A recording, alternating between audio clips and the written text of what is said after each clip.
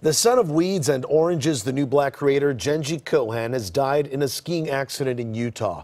TMZ reports that Charlie Noxon fell while skiing yesterday with his siblings and his dad, writer Christopher Noxon.